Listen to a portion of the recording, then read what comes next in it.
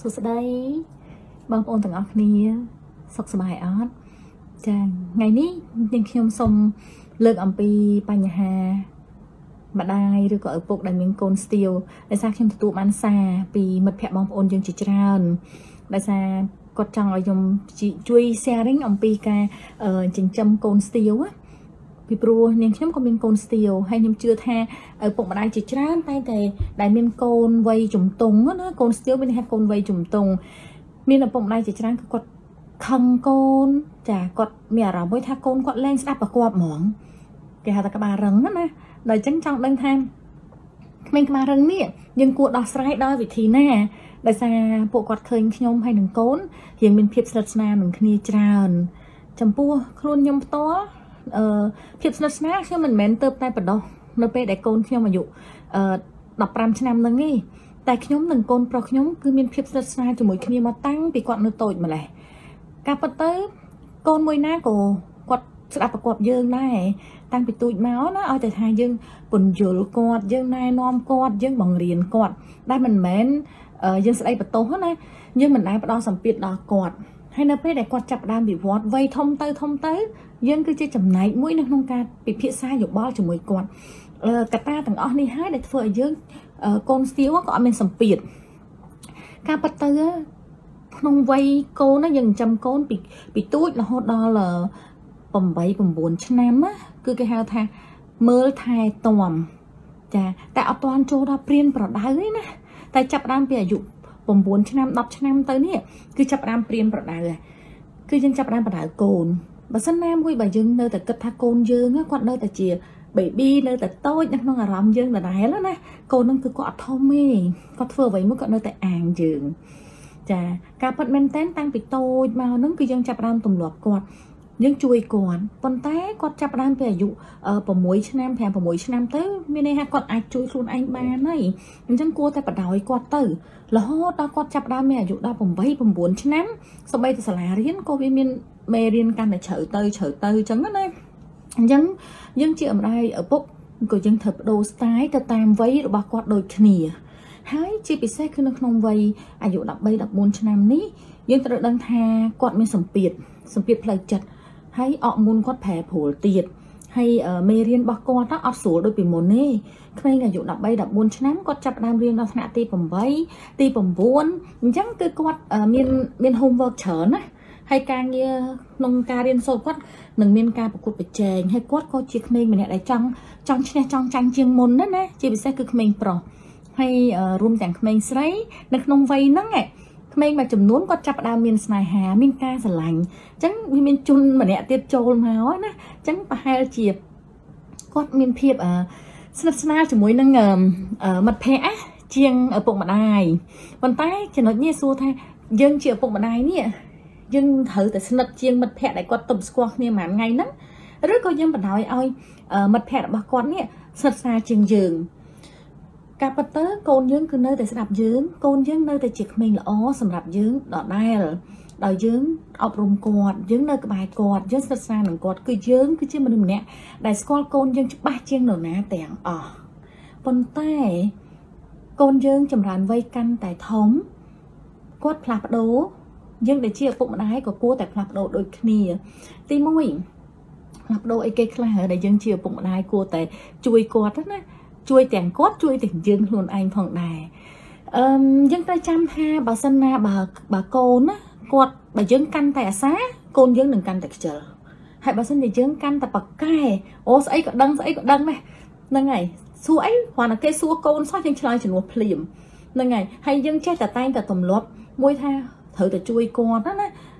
អឺឲ្យតែគាត់ចង់បានអីគ្រាន់តែគាត់សួរភ្លាមហុចឲ្យគាត់ដល់ដៃភ្លាមអញ្ចឹងបើយើងកាន់តែប្រកែយើងកាន់តែល្វីល្វីកូនយើងគឺកាន់តែខ្ជិលកូនយើងកាន់តែអត់ចេះហើយបើសិនជាយើងកាន់តែយើងកាន់តែស្ពយគាត់ណាយើងកាន់តែ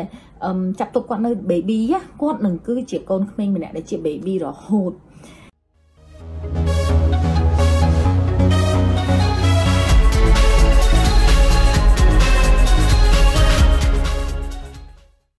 ទុយទៅវិញកូនប្រុសខ្ញុំខ្ញុំបានចិញ្ចឹមគាត់ចេះវិញនៅពេលដែលគាត់ចាប់ផ្ដើមពីអាយុ9ឆ្នាំខ្ញុំចាប់ផ្ដើមនិយាយប្រាប់គាត់ថាកូនមានដឹងអត់កូនគឺជាប៉ាប៉ាទី2នៅក្នុងក្រុមគ្រួសារមួយនឹងបើថ្ងៃក្រោយអត់ពីប៉ាប៉ាទៅ គឺកូននឹងឯងដែលជាប៉ាប៉ាទី2អញ្ចឹងកូនគួរធ្វើជាប៉ាប៉ាទី2ឲ្យបានល្អដល់របៀបមិនខ្លះ កូនគួរតែចាប់អារម្មណ៍ពីថ្ងៃហ្នឹងតទៅនេះកូនគួរតែចាប់អារម្មណ៍មើលមើលថាតើប៉ាប៉ាបានធ្វើអីគេខ្លះហើយប៉ាប៉ាធ្វើហ្នឹងកូនចំណុចណាដែលកូនពេញចិត្តចំណុចណាដែលកូនមិនពេញចិត្តដែលកូនគិតថាប៉ាប៉ាធ្វើជាប៉ាប៉ាដ៏ល្អសម្រាប់កូនហើយនឹងសម្រាប់កូនឯងផ្ទាល់ហើយនឹងបងអូនបងអូនអញ្ចឹងណាហើយនឹងសម្រាប់គ្រួសារទាំងមូលផងដែរបើកូនមើលឃើញចំណុចល្អទាំងអស់នេះកូនគួរតែរៀនសូត្រតាមហើយកូនគួរតែធ្វើល្អជាងប៉ាប៉ាទៅទៀត អញ្ចឹងខ្ញុំបានផ្ដល់អឺទីមួយគេថា responsibility គឺការទទួលខុសត្រូវខ្ញុំបានឲ្យទៅកូនប្រុសខ្ញុំតាំងពីគាត់អាយុ9ឆ្នាំហើយខ្ញុំក៏ចាប់ដើមផ្ទេតំណែងឬក៏យើងចាប់ដើមបង្រៀនគាត់ណាបង្រៀនតាំងពីអាយុ9ឆ្នាំមកហ្នឹងគាត់មានប្អូនអញ្ចឹងឲ្យគាត់មើលថែប្អូនក្នុងហ្នឹងគាត់ដើរតួពីរ មួយជាឪពុកមួយជាម្ដាយអញ្ចឹងគាត់ត្រូវមើលថែប្អូនត្រូវបង្រៀនប្អូនត្រូវព្យាយាមធ្វើជាគំរូល្អដល់ប្អូនអញ្ចឹងអាហ្នឹងឯងដែលគាត់ត្រូវ commit ណាដាក់ commitment ឲ្យគាត់ទៀតឲ្យឲ្យគាត់ចាប់ផ្ដើមព្យាយាមជួយប្អូន តាំងពីការធ្វើ homework របស់ប្អូនទម្លាប់ប្អូនគេងណាគេងក៏គាត់បានឲ្យប្អូនគេងពីក្បាលប្រឡប់អាប្អូនប្អូនកូនពៅខ្ញុំរៀងធាត់ដល់ពេលអញ្ចឹងបងគាត់ហ្នឹងគឺគិតពីសុខភាព ប្អូនទៀតអញ្ចឹងតាំងពីការហូបចុកតាំងពីការហាត់ប្រាណ homework នឹងឯការម៉ោងគេងហើយនឹងការញ៉ាំទឹកដោះគោលាក់នឹងលាក់គឺគាត់តែងតែជា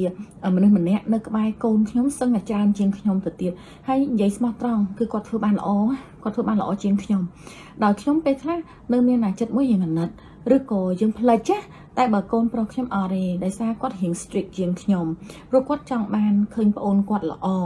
ដោយសារការគាត់ពីតូចមកយើងបដោះគាត់ថាធ្វើម៉េចឲ្យកូនល្អអឺម៉ាមីអត់បានរៀនសូត្រចេះដឹងទេដោយពួកកូនទេអញ្ចឹងម៉ាមីជឿជាក់ថា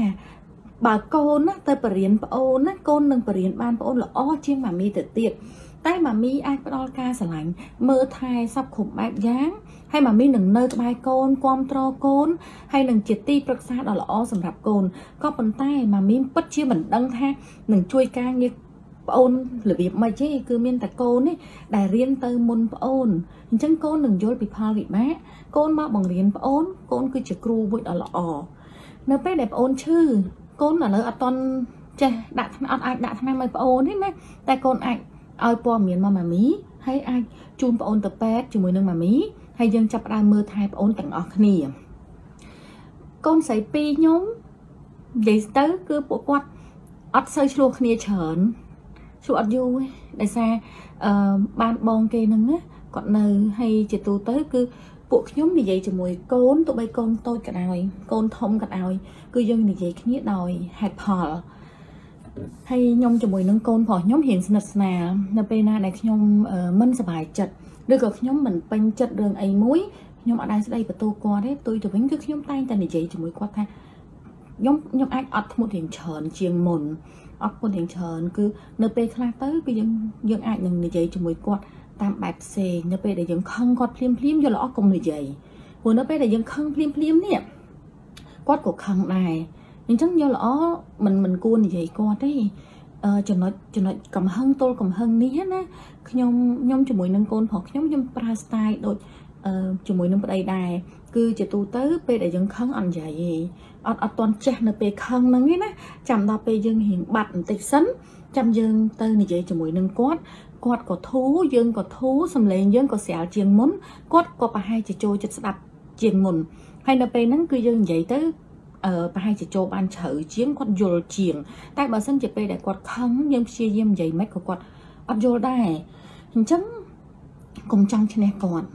បើសិនជាយើងតាំងចិត្តមួយថាដោយសារខ្ញុំនេះទទួលស្គាល់ថា កូនខ្ញុំគាត់ល្អហើយខ្ញុំទទួលស្គាល់ថាគេរៀនសូត្របានសាលាល្អជាងខ្ញុំគេមានម្ដាយឪពុកល្អជាងខ្ញុំអញ្ចឹងខ្ញុំតែងតែស្ដាប់យោបល់កូនបើក្នុងករណីថាគាត់និយាយមករៀងឆ្កងឬក៏ស្ដាប់ទៅឆ្កុយអត់អត់មានទៅរឿងសោះហ្មងតែយើងថាខ្ញុំក៏ក៏ព្យាយាមនិយាយមួយគាត់វិញថាអឺកំណត់ល្អតើកូនគាត់ឯងនិយាយចឹងមួយយ៉ាងដែរកូន ក៏ប៉ុន្តែលើកូនឯងសាកគិតវិញមើលបើសិនជាកូនធ្វើអញ្ចឹងទៅនេះវាអាចមានរឿងចេះកើតឡើងណាចាប់បើសិនជាអញ្ចឹងកូនគិតមិនវិញនៅពេលដែលយើងនិយាយដល់ចំណុចហ្នឹងគាត់ចាប់ដើមយកមកគិតវាយើងស្របតែយើងមានយើងយើងមានយើងមានហេតុផលនឹងយកទៅឲ្យគាត់គិតអញ្ចឹងជាទូទៅគឺបង្រៀនគាត់បង្រៀនគាត់អញ្ចឹងគាត់ចាប់ផ្ដើមយកគិតទៅដល់វិញគាត់ថាម៉ាមីនិយាយត្រូវអញ្ចឹងយើងគួរតែធ្វើមិនទៅម៉ាមី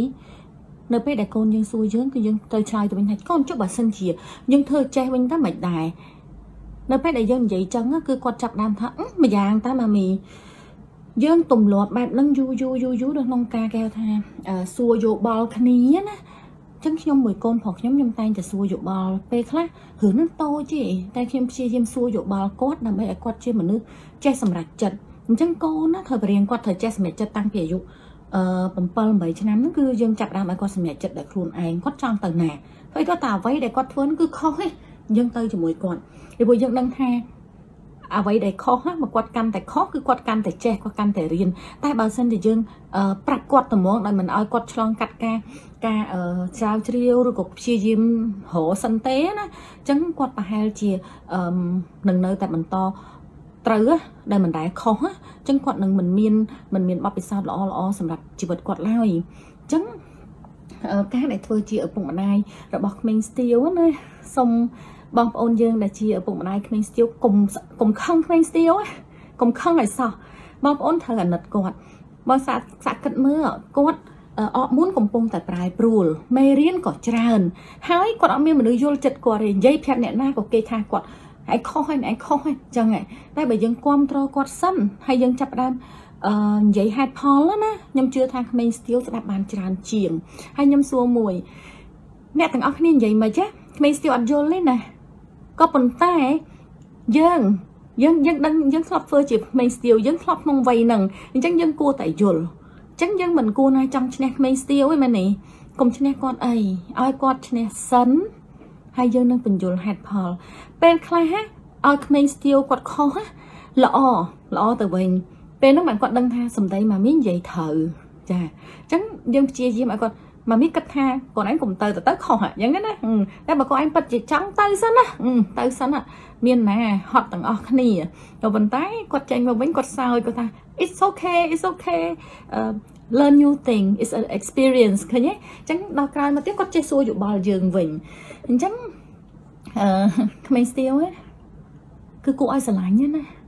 ដោយសារពេលខ្លះគាត់ខឹងពេលខ្លះគាត់គាត់សប្បាយចិត្តអញ្ចឹងដូចកូនក្មេងថ្ងៃខ្លះគាត់រៀងមានអារម្មណ៍ថាអេអញដូចចាស់ដូចធំគាត់មានអារម្មណ៍មួយអូចង់រកស៊ីថ្ងៃខ្លះទៅគាត់ថាអូខ្ញុំចង់រៀនទេអញ្ចឹងអញ្ចឹងបានពួកយើងកុំកុំឲ្យអា អ្វីដែលគាត់ប្រែប្រួលនេះមកដឹកនាំអារម្មណ៍យើងណាហើយយើងកុំមុតស្រួចតែមកផ្លូវអីយើងគួរតែបត់បែនតាមគាត់ពីព្រោះថាពួកគាត់ហ្នឹងគួរឲ្យ funny ណាគួរឲ្យអស់សំណើចមែនតែនខ្ញុំចាំកូនខ្ញុំខ្ញុំមានអារម្មណ៍ថាកូនខ្ញុំគួរឲ្យអស់សំណើចកូនក្មេងហើយខ្ញុំចូលចិត្តក្មេងស្ទៀវដោយសារក្មេងស្ទៀវពេលខ្លះគាត់អត់ទាំងយល់ខ្លួនឯងផងអត់ទាំងយល់ខ្លួនឯងណាគាត់ចង់បានអីផងហ្នឹងល្អមើលណាល្អមើលមែន ហើយគាត់ក៏ចង់តាមយើងដែរប៉ុន្តែគាត់ចង់មានសេរីភាពចង់មានអឺគាត់ចង់បញ្ចេញយោបល់ណាអញ្ចឹងសូមឲ្យយើងដែលជាឪពុកម្ដាយ patient ស្ដាប់គាត់សិនអញ្ចឹងការពិតទៅគាត់គួរឲ្យស្រឡាញ់តាមិនគួរឲ្យខឹងដូចយើងគិតទេ ការពិតណាបងប្អូនសាក់ធ្វើបែបហ្នឹងមើលមើលហើយក្មេងស្ទៀវគឺជាវ័យមួយដែលពួកយើងមិនគួរកំដរគាត់ឆ្លោះមិនគួរស្ដីបន្ទោសគាត់បងប្អូនត្រូវចាំថា បើសិនណាបើយើងយើងយើងមិនបាននៅក្បែរកូនយើង អ្នកដតីនឹងនៅក្បែរកូនយើង បើយើងមិនបានបង្រៀនកូនយើងទេណានោះអ្នកដតីនឹងបង្រៀនកូនយើងហើយសួរថាមនុស្សដែលបង្រៀនកូនយើងដែលជាពួកម៉ាក់គាត់នេះគាត់បង្រៀនកូនយើងឲ្យទៅជាស្អីគេទៅគាត់អាចត្រឹមតែបង្រៀនកូនយើងឲ្យទៅជាក្មេងស្ទាវដូចគាត់អញ្ចឹងតែយើង យើងយើងធ្លាប់ដើរខុសយើងធ្លាប់ដើរត្រូវអញ្ចឹងបើឲ្យយើងបង្រៀនកូនយើងអ្នកណាក៏ចង់ឲ្យកូនល្អដែរដូច្នេះយើងគួរតែបវល់កូននិយាយរឿងល្អយើងទម្លាប់ល្អយើងចង់ប្រាប់ក្មេងស្ទាវកុំឲ្យឆេវឆាវមែនទេហើយយើងក៏កូននិយាយភ្លាមយើងឆេវឆាវភ្លាមអញ្ចឹងវាអត់ត្រូវអត់ត្រូវសោះអញ្ចឹងចង់អីបានអីពីកូនណាណាយើងធ្វើឲ្យកូនយើងមើលយើងចង់បានអីគឺយើងធ្វើអាហ្នឹងហើយយើងត្រូវអត់ធ្មត់ សបាយលេងណាបងប្អូនចាំកូនស្ទៀវណាគឺយើងប្រឆាំងខ្លួនឯងផងយើងព្យាយាមជួយគាត់ផងហើយយើងចេះអភិវឌ្ឍទាំងគាត់ទាំងយើងជាមួយគ្នាណាចាអញ្ចឹងចង់ឲ្យបងប្អូនដឹងថាក្មេងស្ទៀវគឺជាកូនយើង គឺយើងជាអ្នកបដោះគាត់មក